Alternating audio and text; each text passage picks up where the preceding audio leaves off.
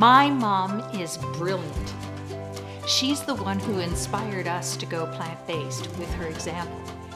After two angioplasties and stents, she went whole food plant based. She reversed her atherosclerosis, you know, blocked arteries. She dropped 70 or 80 pounds. She got off of all of her high cholesterol medication in her mid 70s. My hero.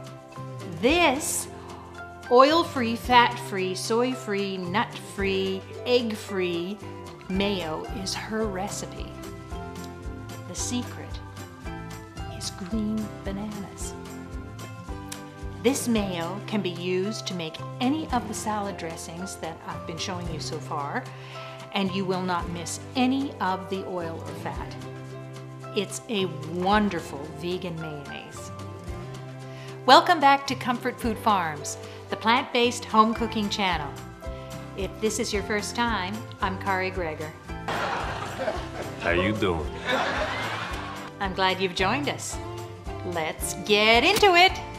You'll find a short video on how to make the green banana mash in the link in the card above or in the description below. Steam them for five minutes and scoop out the pulp. That's basically it. The greener the better. Ba ba ba ba ba na na. Ba ba ba ba ba na na oh. na. Ba ba ba. Take one cup of plant milk, pour that into your blender. Add one third cup or 100 grams of the green banana mash, two tablespoons of apple cider vinegar, two tablespoons of lemon juice, one tablespoon of sugar, half a teaspoon of salt, one teaspoon of mustard powder, and half a teaspoon of Kala Namak black salt, two teaspoons of nutritional yeast, and a quarter teaspoon of paprika. Take that to the blender and puree it. Take half a cup of water plus two tablespoons and pour it into a microwavable dish. Next, we need half a teaspoon of agar and one quarter teaspoon of xanthan gum. Whisk that together with the water. Then add two tablespoons of tapioca starch or cornstarch. Whisk those together. I made a few changes to Mom's original recipe because I found her mayonnaise tasted very much on the acidic side more than than on the sweet side. It was very very creamy though. So it's really up to personal preference. Some people like to have their mayonnaise taste more like a Miracle Whip, and some people like it like a Hellmann's mayonnaise or something like that. So it's really up to you whether you want to do either of those. I will put um, Mom's original recipe and my adjustments in the printable recipe link, which will be in the description below. We are not going to be canning this recipe, so it is really up to you as to how much salt and sugar you want to put in there. We're not going to be canning it, at least until I've done a little bit more experimentation and testing. So it's up to you as to how much salt. You don't have to put any in. Or sugar. You don't have to put any of that in that you want to do. Remember, when you make it yourself, you have total control over the fat, salt, and sugar. If you're getting value from this video, give me a thumbs up below, subscribe, and hit the bell so you know when another recipe is posted. microwave this mixture 20 to 30 seconds at a time and then take it out and stir it up and then do that again and do it for several times until it gets as thick as this. Scoop that into the blender and run the blender until it's hot and smooth. Look at that. Look at how creamy it is. It has been very well emulsified. Pour this into jars and put it in the fridge to chill. This makes about two and a half to two and three quarter cup of mayonnaise. Lovely, lovely mayonnaise. Which is a sandwich. And what does one put on a BLT? Mayonnaise, invented by the French. This is my pH testing kit. It has a probe wand that um, that is used to test the actual product and several different solutions to do further tests on.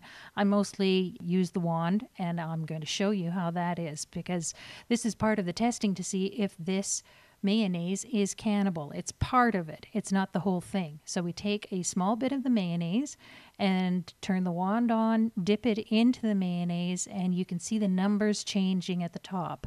What we are looking for is a number that stays for a little bit and you can kind of see a little happy face. That's the indicator. I'm going to show you a closer up picture. There we go. Now you see 94, 95. There's the little happy face underneath the three. It's kind of hard to see if you don't know what to look for. So this is kind of floating around 3.94, 3.95.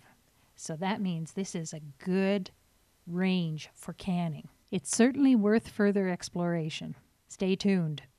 I'll do another episode where we experiment with the actual canning of this mayonnaise. Keep trying, it's for science. Is that all I was to her? Just an experiment? Doesn't that look fantastic? I just started spreading it on my sandwich. Look at that. Look at that. And, mmm, such a nice tangy zip to it. And this stuff is not too sweet.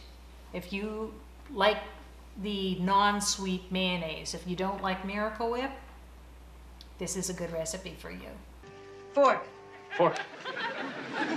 Mayo. Mayo. What? Hold the mayo. If you found the information in this video helpful, please give me a thumbs up below. Click on the subscribe button and the bell. Hit that bell so you'll know when the next video is posted, which will be chipotle mayo. We're going to take some of this mayonnaise and we're going to make sweet, spicy chipotle mayonnaise. And leave a comment too, please. I don't receive any money for this right now. I, I might at some time in the future, but right now I'm just doing this to help you and to make the transition from omnivorous eating to the plant-based eating and make it easier for you than it was for us because I didn't know all of this stuff when we started. Let me know what kind of recipes that you are looking for so that I can answer some of your questions and make this transition easier. And leave a comment Tell my mom how amazing she is. She reads all the comments. Thank you for watching.